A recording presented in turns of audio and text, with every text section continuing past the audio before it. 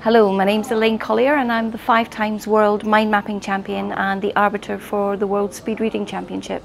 I'd like to throw a challenge out and invite you to come to the French Mind Mapping Championship and the French Speed Reading Championship in Paris in 2018. See you there. Bye.